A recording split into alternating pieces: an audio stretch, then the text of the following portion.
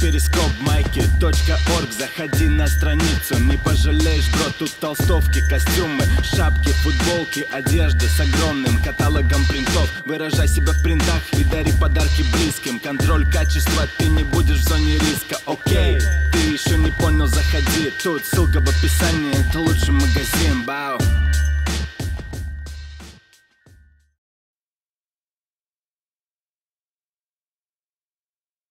это. Вот, А, да, я хотел Абсолютно сказать, бегина. 98 98 год, мне очень нравится этот клип 20 лет по-прежнему. И короче. у меня мурашки от этого бита до сих пор. Я надеюсь, что у вас тоже они будут. Да, Послушайте. это Ян Дилей и Это лучше, это, это пиковая форма вот того доброго рэпа, который был в конце. Это уже вот, 90-х. это уже как бы грань. Да, после него пришли зло, злюки и все разрушили. Но это было клево. Ты. Это вот на такой громкости было очень. Да, качу. Вот он. Ага. Вот такой херовый рэп. вот, Да. Херовый рэп. Ну, я помню, что у него был клип, под который я дрочил, потому что там были телки с вот такими жопами. Факты, блядь, все, мне кажется, просто это был такой пиздец. И Ян Дилей потом взял Порнуха, блин, в, этом, по Viva и MTV. Мне было 14 лет, я смотрел это, думаю, Ну это был легендарный трек. Охуенный Там басы прям... Да, но это был, по-моему, иди... А, еще у них был этот э, for deine Züge. Вот. Also macht. Франкштейн Делюкс это же... Прям такой, конечно, зашкварный рэп, на самом деле. Да, согласен. Дасбом. Короче, смотрите, прошло 20 лет. Очень многие группы, очень многие треки не прошли, типа, проверку временем. Мы вот переслушивали какую-то часть того, что мы будем сегодня Да, мы показывать. выбирали... Вот оно прям- здесь бит офигенно звучит, клип выглядит довольно фрешово. Кстати, в России, по-моему, у кого-то был похожий клип, Да, типа и у флоу, Макса и Коржа, флоу мне очень крутой. И Флоу что самое клевое, это то, что Айсфельд, вот белый чувачок, э, делал вот именно спетый полудансхолловый какой-то рэп задолго до того, как это на Западе... Еще раз, э, в смысле? Айсфельд? как его зовут? Ян Дилей. Так Айсфельд, это же он же. Это же он же, это же его второй ник. Ян Дилейт, он сольный, а Айсфельд, это когда он был в Beginner. Пау! Да, ты присадил меня. Короче, 1-0. О, Кор- Понятно, Эдди. Короче, а, Ладно, я пошел. смотрите, а, я не знаю, как вам, напишите, вот, давай буду читать комменты хоть немножко. Как вам а, бит на этом треке? О, тут пришел DMA, но мы не будем отвлекаться на... Красота, теперь я знаю, на что дрочил Окси. А, нужно им название клипа, да, иначе не буду. Чили, Так, чили. нет, там все, там все присылают. А, все, Там отлично. Вы всё знаете, на что я дрочил в Мы- 14 лет. Тазбо э, Зихядыга. Или как? Или назывался. Тюлих, трек. тюлих, Челих по-моему. Челих. Ну вы не перепутайте, там огромные жопы на весь Да, экран. про... ну я не знаю, как жопы там. Ну просто Дасбой, это единственный его трек, который был прям... Че у вас так плохо слышно? Это пиздят. Это Все- пиздят, да? Все Вы пиздят. пиздите, говорит Ваня. Включай. А, так, следующий, следующий, короче, а, трек из того же лагеря. Да. Я не про Тоже Гамбург. я про Гамбург. Вот, блядь, ну можно плохую шутку на канале? Подожди. Хотя бы одну. Пиздец, Можно так мы плохую. о Германии Нет, говорим. так мы евреи, нам можно шутить про это. Короче, э, Beginner, э, та же группа, но я ставлю не из-за того, что это та же группа, иначе был бы Да, перебор, Сэмми а из-за того чувака, который э, на фите, это Сэмми Делюкс, который выпустил в 99-м гениальный абсолютно альбом, который прошел тест временем, потому что там офигительная читка. Может быть, не гениальные текста, но просто офигительная Да, читка, читка. называется Deluxe Sound System. Группа, соответственно, была Dynamite Deluxe. Dynamite Deluxe. Вот, главный там чувак это Сэмми Делюкс, И, один из... и два диджея. Нет, диджей и продюсер. Ну да, ну... а, Ну, типа, всё. да, да. Ну, один на NPC, другой. Вот, и, короче, Сэмми один из немногих вот именно черных-черных ребят в Германии, который всегда делал очень круто. Да. Вот, потому что в Германии все-таки традиционно получилось, что рэп делают, сначала делали белые немцы, а потом делают, а теперь делают арабы. Да. У него недавно сайфер вышел у Сэмми Делюкса. Охуительный сайфер. Сэмми Делюкс, большой можете заценить. вообще. Там прям все старички. Вот. Там и Морлок, и Эко. Я не знаю, почему мы вообще, почему я рэперов сортирую по цветам кожи, но... Я не знаю. В России это нормально. В России это Я не нормально. знаю. Короче, блядь. А, так, и мы делаем, да. Да. А, Мы слушаем, давай не целиком этот трек. Да, мы- э, Реально. Это болезнь, вот, Мы ЛДМА как раз. Что? Я тебе Это- говорю, это- смотри. Это, блядь, Смотри, болезнь зачем нам слушать? Я тебе объясню. Это второй трек. Мы Той чисто же из-за группы. Мы чисто из-за первого и Да. последнего Вот это единственный трек, который мы не до конца послушаем. Мы можем промотать всю среднюю часть, он читает первый и последний куплет. Let's go. Давай. О, меня аж дёргает. Знаешь, когда, когда кто-то типа... Хорошо, целиком так целиком. Вот- вот это- Ладно, гулять так гулять. Да, гуляй. Вот это, это болезнь ЛДМА. Димон так ставит треки. ЛДМА, ты болеешь, я не знал. ты Типа, болеешь. он так ставит треки. Он типа поставил это до половины это послушал, такой типа... Это вся за хуйня сейчас следующий трек. Это нормально, это ты болеешь, а не он. Синдром ЛДМА. Мирон, ты нахуй смотришь? Бля, мне лучше не читать чат, потому что... Какой нахуй хуй? Я на телефон смотрю, долбоёб. Хватит на свой хуй смотреть. Пиздец вообще. Все, какой? Первый и... А может ты как раз... и- Е, вот здесь флоу просто бешеный. Отруби меня. Врубай, врубай, Вот, врубай. и после этого Гамбург умер. Примерно, да. То есть, э, если вы хотите Как, Лас говорил, Hamburg liegt auf dem Boden wie Möwenscheiße. А Лас сам оттуда? Да. Как-то он некрасивый свой город. Ну, потому что рэп-техниш liegt Hamburg auf dem Boden wie Möwenscheiße. Понятно. Ну, до появления Айнцерзим, собственно, так оно и было. Да, да, да. Что? да. Ну, типа... Среагировал, смотри. А? Не, он среагировал на. Короче, есть рэпер Лас Unlimited, который уже просто Лас. И у него была строчка, что Гамбург лежит на... Ну, как бы... Или, подожди. Гамбург лежит на полу, как говно чайка, Да. потому что чайки летают над Гамбургом, морской город. Не очень пиздатая строчка, будем откровенны. Ну, это правда. Но на немецком звучит. Как геймер! Не, ну, ну где-то с 2002 с 2001 как бы Гамбург уже отошел, и все переключилось на Берлин. Смотрите, короче, да, совершенно верно. Произошла революция в Германии э, в рэпе, очень четкая. Э, начиная с 99 года в Берлине началось движение. Во-первых, потому что Это ну- долго. нужно, нужно, да, это до утра. А, ну Нужно- все, тогда тогда. Ну, блин, на самом деле мы слишком быстро перешли от той фазы. Не, все нормально, мы же, мы же... Мы не рассказали про Форендескрайс, про Айнц Сво. Блять, про... Все нормально, мы, все, мы уже перешли- Карвалол! Дендема! Карвалол! У нас, у нас новые школы, там треков где-то 10. Давай Да похуй на новую школу, подожди! Короче, нужно все-таки хотя бы упомянуть, блядь, эти группы. Так мы же говорим про- Сво мы не упомянули, это не, это не Гамбург, по-моему, не Штутгарт. Ну окей. Это такой типа стебный пенсионерский рэп. Ну, блядь, он хуёвый, конечно. Но он занял определенную нишу. Фройндескрайс. Вот эту группу я на самом деле слушал довольно много. Макс Хэра и... Макс Хера, да. Фройндескрайс это была такая левацкая в плане политической ориентации. А, Ну они как Гринпис были такие, знаешь, как... но у них было на самом деле очень интересная работа именно музыкальная, с сэмплами, с э, соулом, там и так далее. То есть вот я на самом деле начинал с этого, что я начинал с Fugees, да, типа в, э, в плане А, американского вот, я как сразу аналог перешел. на то есть они фитовали с таким чуваком, Gentleman. Это вот, если сравнивать в России, это как Steppa Style. То есть это Ну чувак, это немецкий регги. как бы. Dancehall, но он был прям уважаем на Ямайке и так Да, далее. да, и Вот. до сих пор. И он фитовал с Max Herre, вот эта группа Freundeskreis. То есть у них были, это были опять же, а, короче, немецкая интеллигенция. Немецкая интеллигенция, Да. которая немножко как бы... Встречались, делали музыку. Да, немножко играли в кубинских, правда, революционеров. То есть у них реально была и визуальная эстетика, и, а, и как бы клипы, и все такое. То есть они много снимали в Латинской Америке. Блин, жалко, что мы их не показали. Короче, просто забейте, потом поищите. Ну потому что сейчас эта музыка, она, ну, лирика там важна. А, слушай, трек Эсперанто с альбома Эсперанто, который весь альбом довольно прикольный. Вот этот а, именно Kreis Esperanto, напишите в чат. Я вам предлагаю посмотреть клип. Он прикольный, он рисованный. Очень интересная коллажная скомбинированная техника. Немножко, можно сказать, меня вдохновил в свое время. Так что у меня это осело в голове, и машина прогресса, я знаю, что никак не похожа, но клип немножко по технике чуть-чуть Ну, напоминает. ну вот, ну вот Freundeskreis, они вернулись после Мгм. затишья 10 лет. Beginner вернулись после затишья Beginner 10 очень лет. жирно вернулся. Да, и Samy Deluxe тоже вернулся после затишья 10 лет. Как бы эти персонажи, они как бы все еще легенды. Они уже зацементированы в истории да, немецкого да, да. И хип-хопа. они прям как живущие И что легенды. интересно... э, Я просто хочу попросить как раз вот тот, э, там, не знаю, парень, девушка, не знаю, кто отписывал по предыдущим, там, вот Тони Эл, там, и так Мгм. далее, видно, что шаришь и так далее. Если что-то из этих названий, типа, понимаешь, хотя бы напиши, чтобы э, людям, типа, было легче искать, потому что на слух реально тяжело воспринимать. Да, очень. Этот ебаный язык. Да.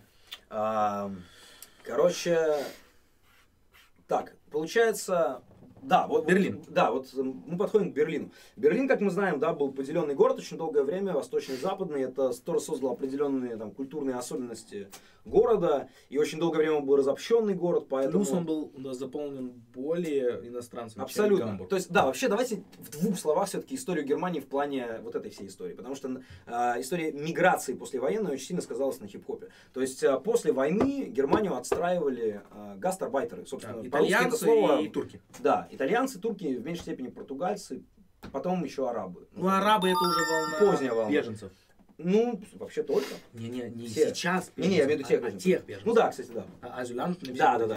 Короче, э, ну, Да, еще какие-то национальности тоже, ну, типа, а, соответственно, русские и Конечно. русские евреи, вот это мы забыли. Конечно, конечно. Это, точнее, конечно. русские немцы и русские евреи. Русские просто никогда не Германию. Нет. Это тоже такая отдельная история, мы к ней еще придем. Короче, а, получается, что Германию остраивали немцы, а, сори, Германию остраивали а, турки, там, португальцы, итальянцы и так далее. которые- Гастарбайтеры, слово в русском пришло из немецкого, как бы гастарбайтер.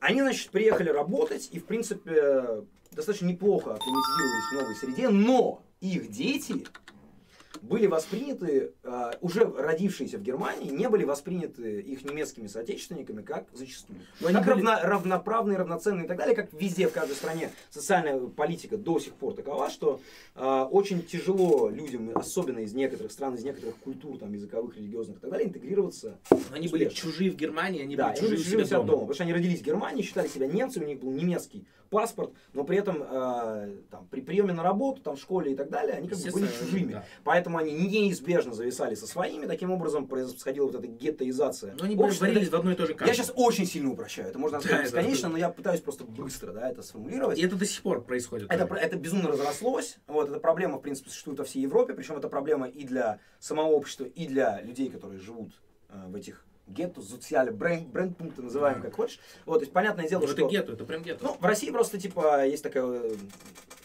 у многих людей представление, что вот, э, видимо, просто эти народы склонны к криминалу. Это, разумеется, не так. Я сейчас не какую-то политкорректную тут тему втираю, просто это действительно сложная, на самом деле, система, которую можно долго обсуждать, почему происходит так. Но э, во многом реально существует такая проблема, что многие люди просто заперты в том районе, в котором они родились, в силу социальных, экономических там, и, прочих, и прочих факторов, и э, там расцветает криминал. Разумеется, это ответственность каждого конкретного взятого человека, там, и группы и так далее, но также это ответственность а, миграционной политики стран, и там, я не знаю, и культурной политики, интеграции и прочее. Короче, это огромный ворох проблем.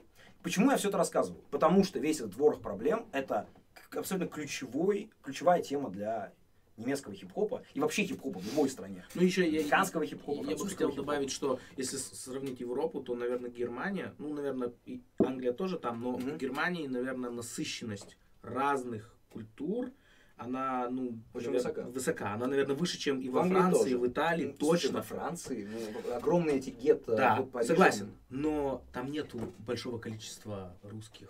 Русские, да. Ну, русские это отдельно. Там нету большого количества югославов. Тоже верно. Ты Вот. имеешь в виду, что там только, допустим, арабы черные? Да. Опять мы приходим к этническому вопросу, но мы без него Ну, никак Да, сегодня но, не но можем. в Германии просто очень, очень сильно Но насыщенно. это очень повлияло. Это типа, очень повлияло. В Германии, поэтому от него Плюс для нас не это, отойти. да, Да, плюс да, для да, нас это- это, это- тема личная. Мы же выросли в Германии, то есть как бы мы сталкивались с этим и с, с одной стороны с неприятием Да. э, со стороны немцев, как бы мы знаем, как себя Да, чувствуют. и Несмотря братская эта хрень, то, что арабы чувствуют нашу вот эту... разумеется. Да, это, это изгой, как бы, да? Это Вот. с одной стороны, плюс все держатся как бы по отдельности, а, плюс типа, а, то есть мы, условно говоря, мы с этим, хотя мы очень по-разному ну, выросли, да, в разных местах там и так далее, но Ну, все-таки, но все-таки были какие-то общие моменты, то есть мы знаем примерно, как мыслят, наверное, немцы и как мыслят там иностранцы в Германии. Ну, Каково это стопудово, потому Да. что у тебя был период, который, ну, там, конец 90-х, Мгм. начало 2000-х, а у меня как раз переход начала 2000-х и вот до, до Да, сегодняшнего дня. Да, да, да. И, и самое интересное, мы когда с, с тобой общаемся, оно не поменялось Вообще, вообще. да, то есть оно оно ост- осталось такими же, ну, так, так, такими- Про- так- Проблемы остались проблемой. Да, Давай мы да. вернемся тогда к рэпу, сейчас объясним, как это все завязывается. То есть Берлин был сосредоточением вот этих всех процессов. А, иммигрантского процесса, а, большого количества криминала, субкультур, то есть э, граффити очень активно Как развивалось немцы в говорят, этот весь момент. шлак в, Герми- в Берлине. Да, то есть Берлин был грязный, Берлин был местами все еще не оправившийся от войны, Да. местами застроенный советскими, э, Ост, Ост-Берлин был застроен советскими, Все еще такой же. разумеется, многоэтажками, а, остатки стены. Я вас просто погружаю в эту атмосферу. И в Западном Берлине тоже огромное количество э, людей mit Migrationshintergrund. То есть, э, то- только турецкие районы, кто только переехали. арабские районы. да. Вот это. И вот здесь хип-хоп родился уже совершенно другой, нежели а, в Штутгарте и в Гамбурге. Да. Потому что он был там- добрый. там хип-хоп родился, потому что люди слушали американцев, И такие, о, как и в России. Да, давайте мы тоже. горели этим и такие, блин, прикольно, мы тоже так хотим.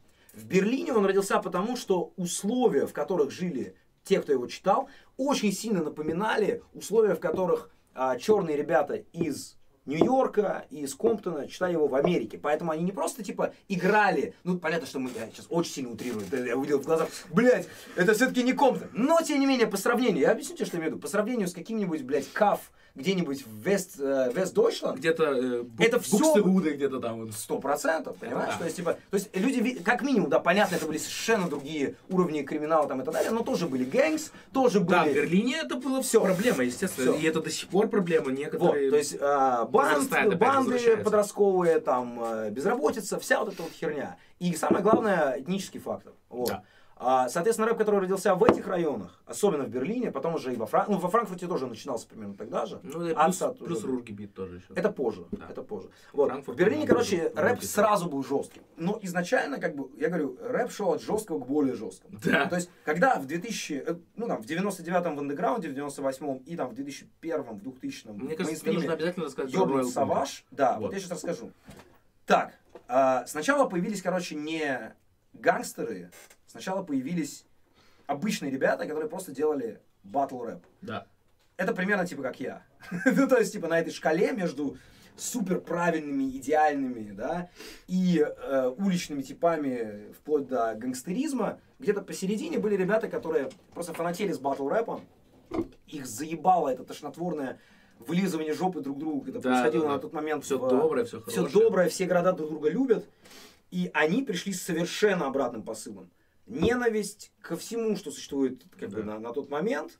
А, биты максимально не похожие на то, под что читали, то есть никакого вот этого доброго, засэмплированного Funky фанка и так далее. Нет, мы будем делать на простейшем сэмплере тупейшие биты. Да. Вот. Кидать об бетон.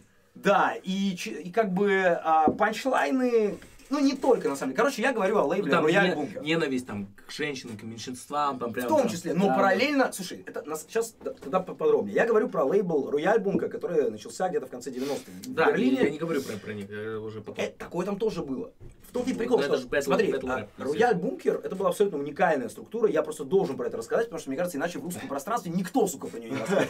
Про Агро Берлин хотя бы ты можешь рассказать. Я теперь понимаю, что, типа, насколько это копилось. Блять, сука, это копилось! Насколько Теперь ты меня понимаешь, бро. Я, ожидал, да? я, да, я думал, что, типа, мы посмотрим, Не-не-не-не-не-не. обсудим. Нет, я, блядь, открыл Слушай, ну, ящичек. Мне кажется просто, что люди и так смогут, если мы где-то не досмотрим, блядь, три клипа, Да то нет, страшно. это понятно. Я не говорю, что это типа. Ты открыл ящик. Пандоры, Но блядь. Именно, да. Я такой. Пиздец. Я уже А знаю, какие мы перепрыгиваем. Роял будет.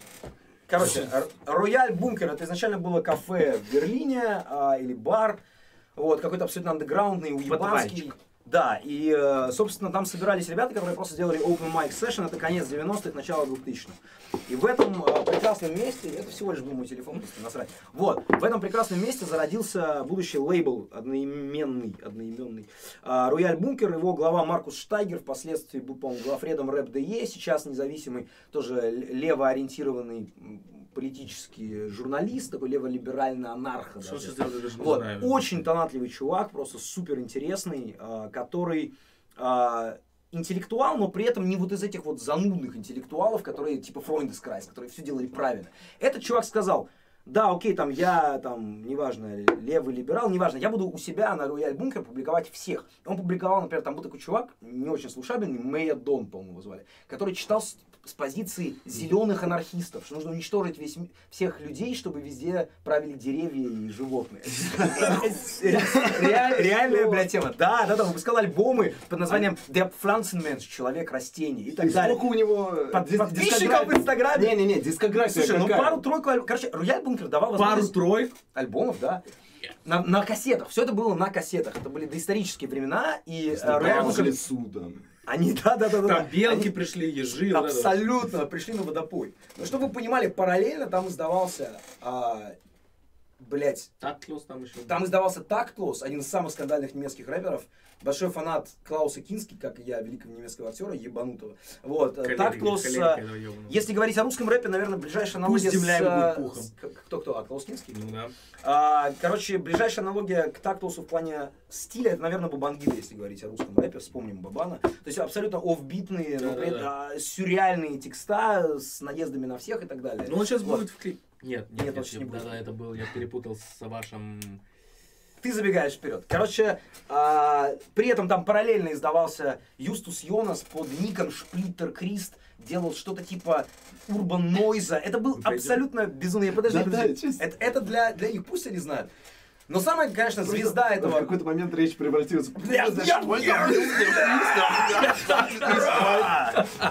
Короче, там, и смотри, мы разбиваем. Там издавался Юстус Йонас под ником Шплиттер Крист. Мы теряем под... Мы теряем Мы теряем просто. Мне кажется, наоборот. Знаешь, люди хотят посмотреть, как человек сходит с ума в прямом эфире. Какой-то... Это как трансляции Гуфа прошлогодней, Боже, знаешь? Крис, Крист, что? Это интересно. Короче, а, а, продолжаем. А, То есть, этот Марк- Маркус Штайгер на лейбле Рояль Бункер дал просто возможность, это все еще русские слова, дал возможность просто любому чуваку, независимо от его взглядов и так далее, толкать свою тему. Флот там делал ту- э, рэп на турецком. А Эко Фрэш там делал свои ранние батловые вещи. А эти чуваки, э, которые потом были K1, Chub Life, издавали там такие псевдо... Ой, Блядь, нихуя себе ты вспомнил, блядь. Ебой, а, такие псевдо Dirty South, кр- э, тогда еще не было Dirty South, а, что тогда было, Кра- Кранк? Кранк, Кранк тогда тогда еще не было кранка. Ну, почему Лил Джон уже был все? Когда был Рояль Бункер. Да, конечно. Да, ну Конечно, кранк, конечно. ну кранк. Короче, был блядь. Настолько нишевый. Короче, маленький. там были ребята, которые делали типа псевдо Dirty это- и там было тоже нишевое. Там был, э, были чуваки, которые читали на турецком, но самая, конечно, главная звезда этого всего, это Куль Саваш. И здесь нужно остановиться поподробнее, потому что это, сука, мой просто идол. Да. Вот реально, и как бы это человек, который на меня повлиял, наверное, то есть точно больше, чем Eminem, хотя Eminem на меня пиздец повлиял. Но просто вот Саваш это типа чувак, которым я хотел быть, когда мне было 13 лет. Ну, я Я- думаю, не только ты. Я думаю, не только я, но, Да, блядь, да. я не знаю, ты хотел быть Савашем? Наверное, нет. Хуй знает. Ну, ты его качал ну, Да, или- но я в жизни, вот максимальное число концертов, которые, на котором я был в жизни, это был Сова. Это Все, ты все сказал. Да. Это, это я в- раз пять уже. Ну, у тебя сейчас э, в Твиттере такое, когда Саваш объявила Да, тур, мартовском, событие типа, сразу. ту- туре такой... Всё, Короче, мы, всё, в фа- мы превращаемся в фанбоев моментально. Да, это прям совершенно супер. нормально. Да. То есть в каждом человеке, который творческий. Я тебе более скажу, все- фанбой. вся рэп-индустрия, они фанбои Сова. Саваша, конечно. То есть Саваш на тот момент состоял а, в группе MOR, расшифровывается Masters of Rap, Да. как, э, как Они сейчас Как все глубоко. такие, они все уже такие старые мужики. старые прям. мужики, а Саваш держится на плаву. Вот. а, Ну, он их вернул, когда был Да. Эс Адамус. да, но сейчас мы точно говорим вещи, которые... Ну, хотя мы можем так периодически... Die werden sowieso nicht verstehen. Я- И, конечно, среди вас есть те, кто говорят по-немецки, это понятно. блин. Короче, сейчас Scheiß auf dich, он сказал, насрать на нас, сука, уебок, вырубаем. Короче, а, группа MOR а, была примечательна следующими Ты фактами. уже Первое. большой экран. Первое, да, сделай большой экран. Точно? Потому Да. что я как бы каждый Первое, раз вот, такой... вот на девочка, play. которая сидит, это На девочка, велике. на велике, Melbeatz. А, во-первых, как бы группа отличалась тем, что битмейкер этой группы, один из, была девушка. Ну, На она тот момент главный это- битмейкер был. она потом была битмейкером очень много кого крутого. Да, да, она и- сейчас диджей на данный Окей, момент. ну типа она очень во многом саунд тех времен реально Это Mel него Beats. повлияла, да, Да. Битс. Потом она начала через встречаться Z с. Савашем вместе. Она начала встречаться Да, с Савашем, они были такие power couple до того, как бы были power couple. Мгм. Вот. А, ну, в андеграунде. Да, да, да. Вот. И, соответственно, то есть чем была... Почему это уникальная группа? Я задрот как бы этой группы. Сейчас уже мало кого интересует эта тема, потому что все там Саваж, да, MOR, ну это какой-то шлак. Но на тот момент это было супер уникально, потому что а, лейбл Рояль Бункер и группа МУР сочетали в себе безумный черный юмор, Да. абсолютное отрицание каких-либо на тот момент существовавших правил в немецком рэпе, а, бэтл рэп, Ну, es war taktlos. да, это war абсолютно тактус. Это было, короче, да, очень, очень а, безумно напористо, такая- но при этом достаточно интеллектуально, блин, а, насыщенно. Не в смысле, что типа там были какие-то, я не знаю, сложные, блядь, глубокие философские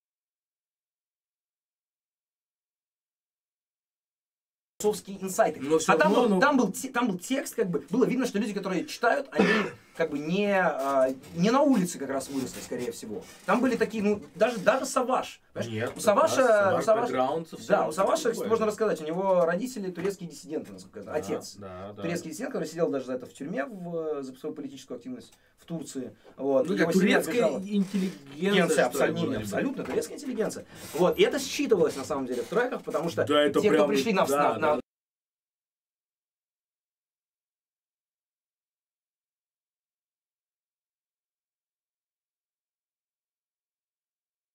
Да. те, кто пришли на смену, уже были совсем уличные ребята. Я не говорю, что это было хуже или лучше, это было иначе, с другим словарным запасом. Вот еще.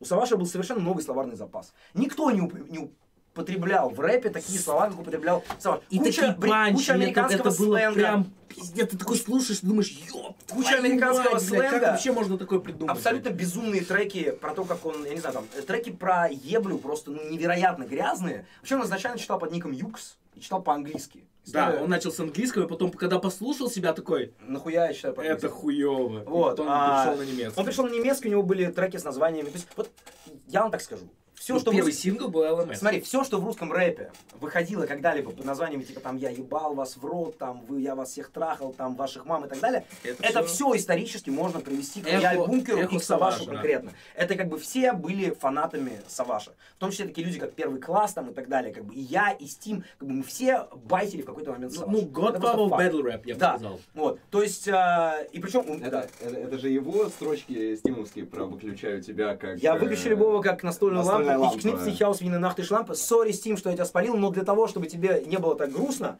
я тоже байтил Саваши и переводил максимально. Максимально. попался, Я, никогда этого не скрывал, у меня даже есть про это в текстах, то, что весь мой рэп был о помесь Саваши и прочее.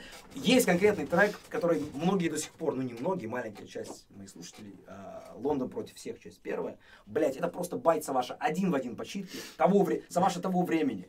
Рэп mehr als bezwölfnis hunderte mit Pflegestep ans Mikro. Ну. Вот этот флоу, плюс там есть фраза, а, чтобы что-то просчитать мой флоу нужно 20 лет, чтобы изучить мой флоу нужно 20 лет исследований. Meine Flows zu analysieren, äh, braucht man что-то 20 Jahre Forschung. То есть прямой перевод, поэтому Steam ты не один, мы все там были. Короче, они все спиздили Мы все спиздили и сделали и продали за свой. Да. Майна Майнер Фрессен. Блять, тебе нужна кнопка Это вообще, это, это вообще не заломка. Это вообще не заломка их, прям вообще. Вообще не заломфей, ни разу. Вот. А, но на самом деле огромное количество немецких МС спиздили у Саваша. Тоже не меньше, и росли на Да, нем все конечно. практически. Да, Вот. да, да, да. То есть Саваш реально, ну, абсолютно свежая волна была на тот момент, и он большой молодец в том плане, что он остался. Мы еще, наверное, увидим, может быть, какие-то его поздние вещи, а может быть, нет. Посмотрим. Не, Вот. ну, ну, Сейчас у нас- мы смотрим клип, сори, бро. Хочешь ты, ты анонсируй. Не- мы сейчас Нет, смотрим? мы сейчас смотрим House and Board. Это чуть позже. Да. Мы сейчас смотрим House Но and это Board. чуть больше, чем э, Мойер. Он уже ушел за Мойер. Да, да, да, это уже когда он начал свою э, карьеру. Это чуть-чуть попозже посмотрим. Сейчас, подожди, я еще скажу.